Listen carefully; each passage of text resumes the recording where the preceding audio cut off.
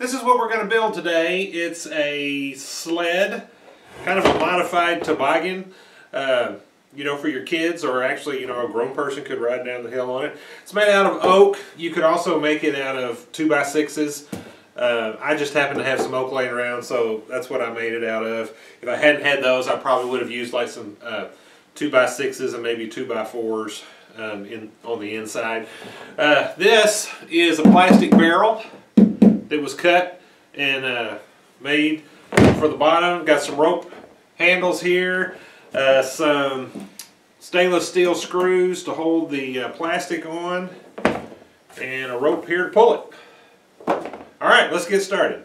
First we've got to lay out the rails and I've got a piece of six inch wide, uh, four foot long oak and the we're gonna do we're gonna lay out the front curve with a French curve and I'm just holding it flat here and up here against the top and it's gonna run into nothing in the front right here. So we're, we're up against it here and here. And then we'll just draw that curve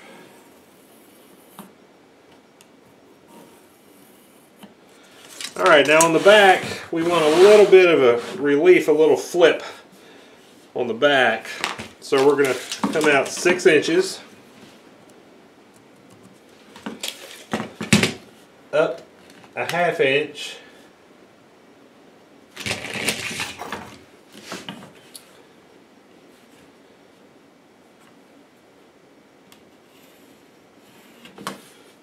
And draw that line. Okay, let's get this cut out.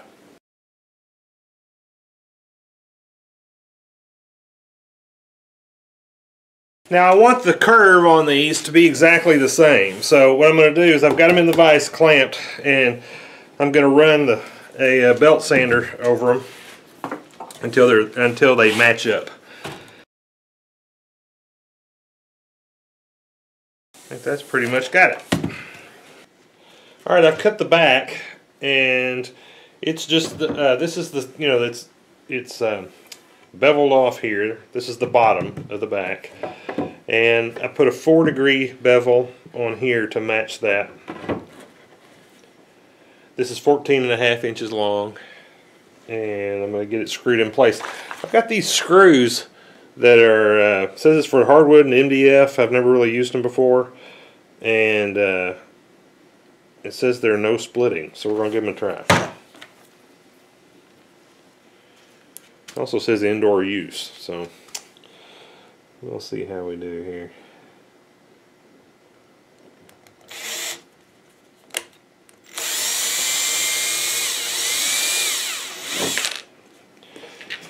Well, I need to somehow hold it.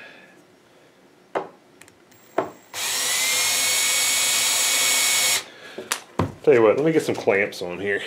Okay, I got a clamp down here on the bottom to kind of help hold that get one across the top. Alright, let's try that.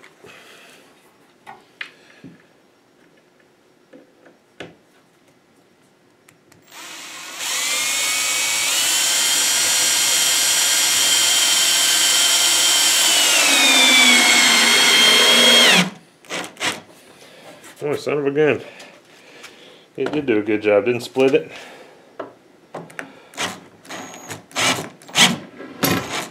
There we go. Pulled it nice and tight.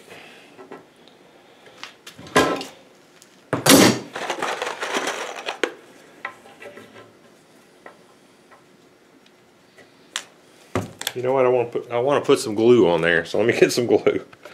All right, so back the screw out. Put a little waterproof glue in here.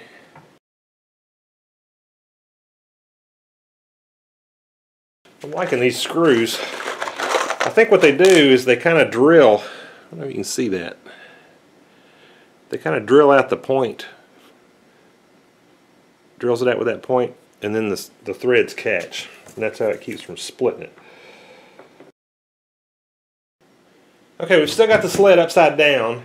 Uh, this is the front of it, and I want to put a piece at the very front like this to help strengthen that front edge, you know, for like when they run into trees. And then I want to put a couple of stretchers along the inside, uh, one here and one halfway halfway back. So what I want I want these to be. Uh, other words, these are going to sit down in the bottom, so I want the upper edge on, to be nice and curved because you're going to be sitting on it. So I'm going to take a round over bit and hit these edges. And then on the front, I'm going to hit this edge and this edge right here. So when you're on the inside, it's nice and rounded right there. This edge, I'm going to leave it crisp for the, uh, the plastic to come around. All right, so here's our pieces after rounding them over. This is for the front edge. It's rounded on both sides and then these are to go down there into the floor and you know just rounded them over with a uh, a, a 3 8 round over bit.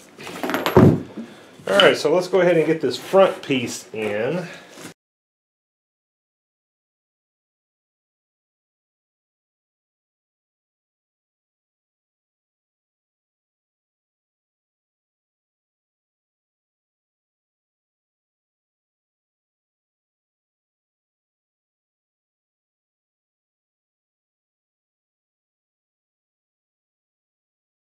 All right, that's got that, the front in there.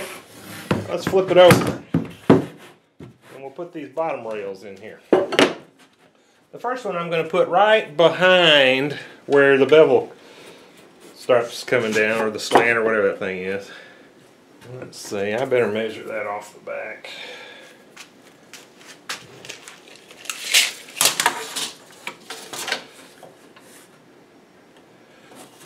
All right, so I'm putting the back edge of it at 36 and a half. These boards are two inches wide.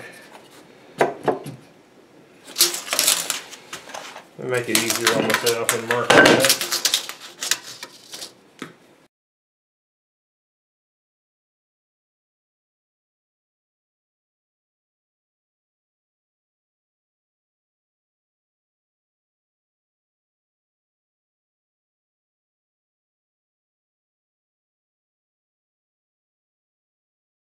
Alright, so let's put one more. In here. So let's put it at uh, 18. These are 2 inches wide, so I'm going to put a mark at 17.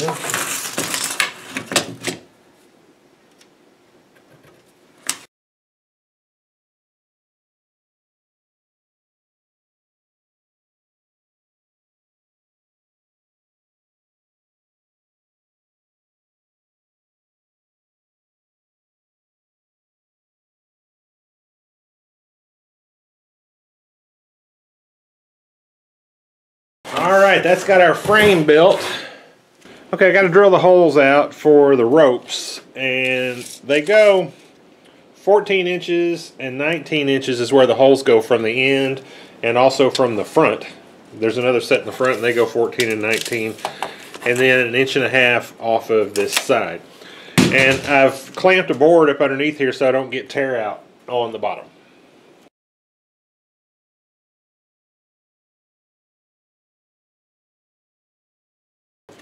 All right, that's got those two. I just got to do four more. All right, the rope for the front pull goes two and a half inches by inch and a half.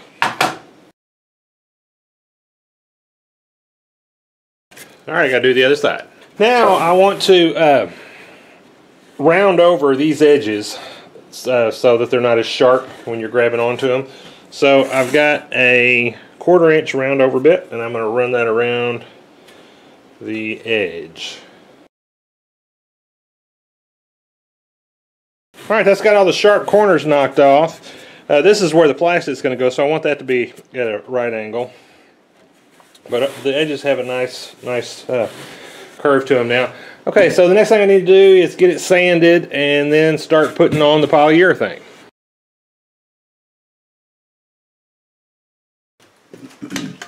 Alright, I'm going to brand my mark into the corner.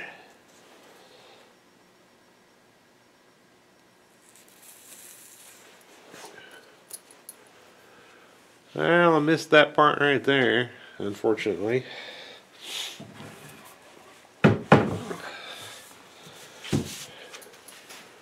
turn it around and try it on this side.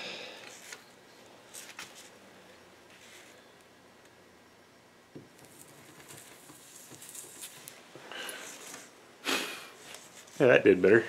There it is after a quick sanding, and then I blew it out with an air gun. If you want to see how I uh, made the branding iron, I've got a video out there showing how um, how I made it. All right, let's get a coat of finish on here. All right, we're going to get a coat of polyurethane on here, and I'm just using uh, Minwax uh, Clear Gloss Polyurethane.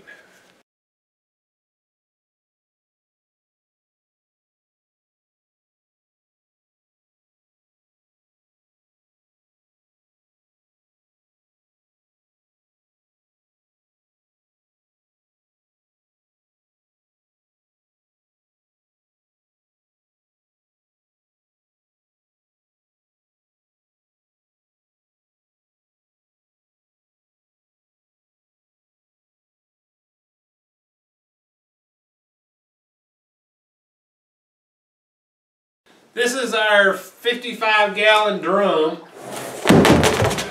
And we're going to use this for the bottom of a sled, of the sled. And this center section from this rib to this rib right here is 13 inches. So we got to go, I want to have it a little bit too wide, then I'm going to trim it down. So um, I'm going to go two inches below, and I've set this up. You know, it's kind of hard to get an even line around something. So this is the way I'm going to do it, is when I do this, it gets me nine inches off the bottom, and so that's that's right for uh, two inches below this line. So.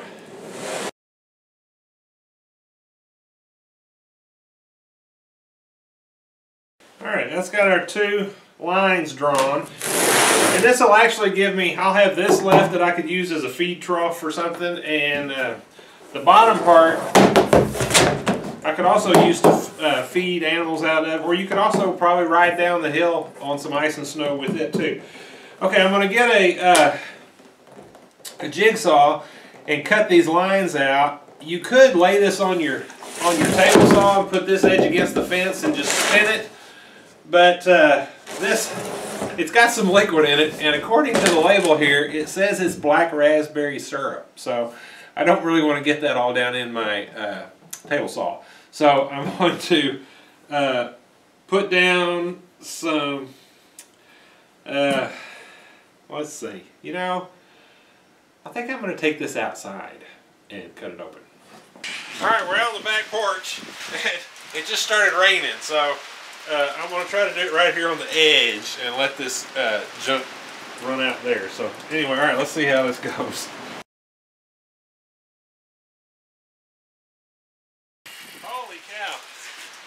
it looks like looks like somebody got murdered. Okay, I'm going to rinse this out and then I'll cut the other half off. Alright, so this has got it cut off.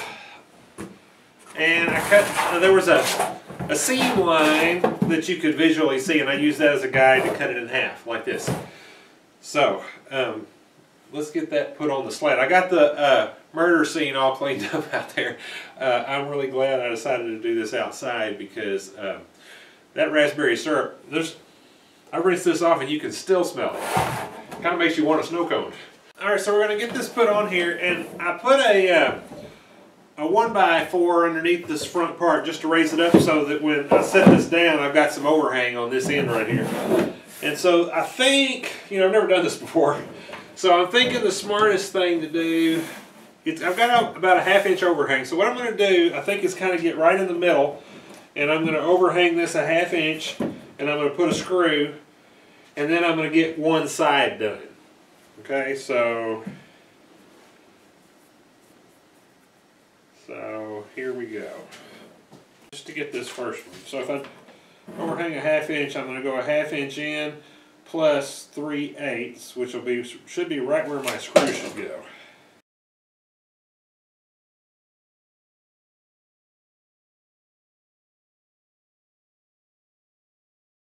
Alright, that looks pretty good. So now if I do that same thing,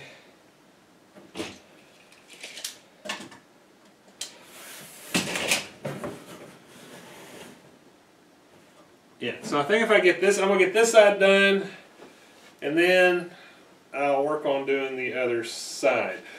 All right, what I'm using is um, number 10. Well, if it'll focus on it. Yeah, number 10 by 1 inch stainless steel truss screws. And these came from, uh, they've got a truss head, which just means that the head is, oh, sorry, the head's rounded over, but it's it's shorter. It doesn't stick up real high. And now I'm hoping it'll help it to glide down through the snow. Uh, and these came from McMaster Carr. All right, so to make life a little easier for myself, I'm gonna, I got a caliper, a little caliper. Boy, this stuff's slippery. And I'm gonna set it to, let's see, seven eighths. Is that right? Okay, so half, half an inch for the plastic, and then three eighths for half of the the oak underneath, so that'll be seven eighths. So then when I come here and I put this a half inch like that, then I should be able to come here and just make a little line, and then I don't have to measure that every time. And then I got this quick connect for my drill. So I can just pop the drill bit in and then pop in the the uh, Phillips bit to make that a little bit faster. And I'm going to put these every six inches along the length.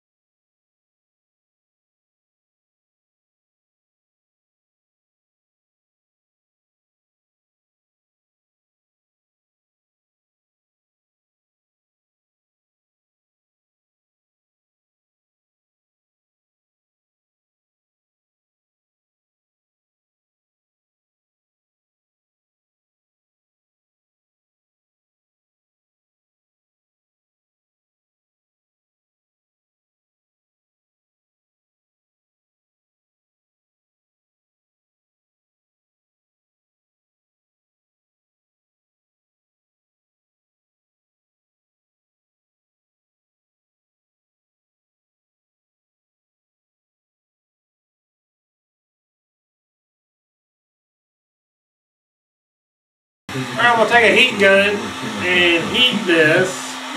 And I'm hoping it's going to get pliable enough that I can get it to bend up and stay there.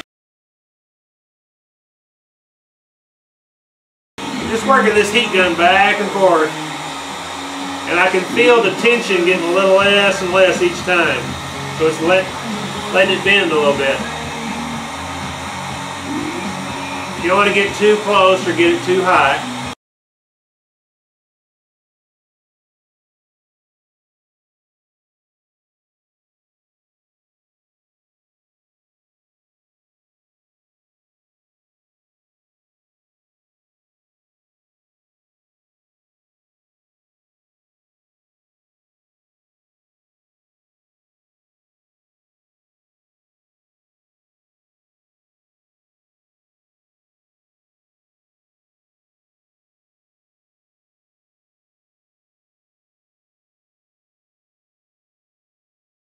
All right, I think that's got it all screwed down. The next thing I'm gonna do is get a router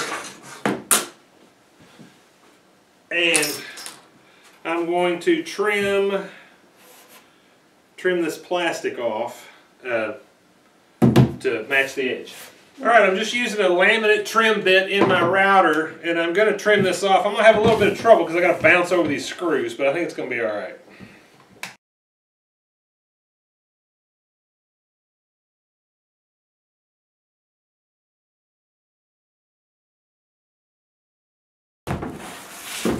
A few burrs around here where the the plastics just looks kind of frayed where that bit hit it. So I'm just going to round this over. Also make sure, I don't think there's any sharp edges, but I just want to make sure there's no all right, we got the bottom in it, and now I need to get the ropes put on. And I'm trying to figure out how long I want to make these rope. But I got, you know, the holes were drilled, and so now just going to take these kind of do a sample here because I need I need four of them.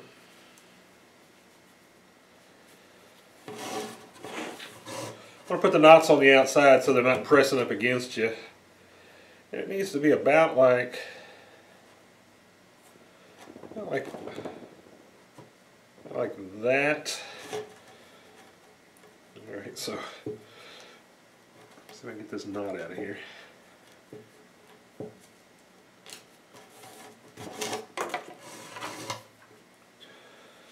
All right, now I want a knot that. okay, hang on. What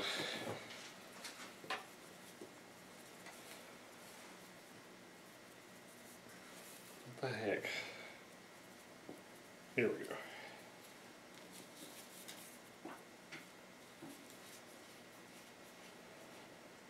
Alright, so I need that much. Alright, so I need about that much. So let's see how long. Alright, so 22 inches, and my holes are 5 inches apart. So I need 22 inches, I need four of them that are 22 inches long. So let me get that cut. Shove that out of the way for a second. Alright, so 22 inches. I'm going to cut this with some tin snips, I think. Yep, that worked pretty good. Take a torch and burn these ends so they don't fray.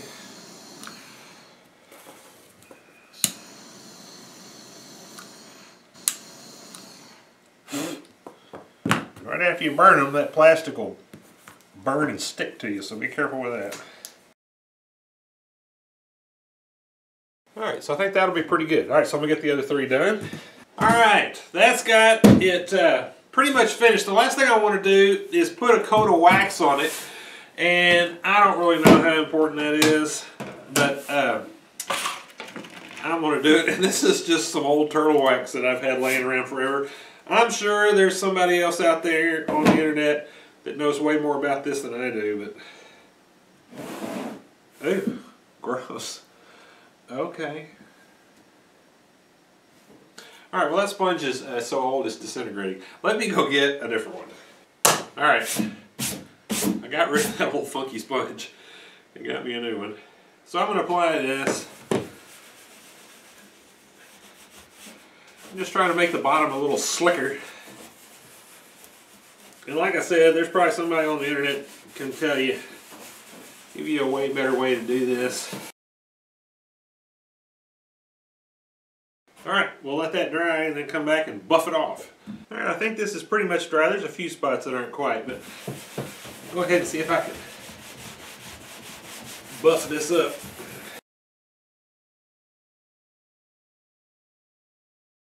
Oh yeah, I think that'll, that's nice and slick. I got a great, my great uncle, his name was Alonzo, and if he were here, he's been dead several years, but if he was here, he would say one of two things he would say that that's slicker than greased owl do. I don't know where that one came from. Or he would say that's slicker than a cat's butt. That's the one he almost always said. And, uh, and then he would go on to say, well, because you know, a cat's butt is really slick because all it does is sit around all day and lick it with that sandpaper tongue. So, a little bit of uh, nostalgia there for you. Okay, so I think that's got it done. Got a, a uh, cord to pull it up the hill with, needs to hold on to, and you can put a couple kids in here and send them uh, downhill. Anyway, hope you enjoyed this project. Hope you get a chance to build one, and uh, thank you for watching.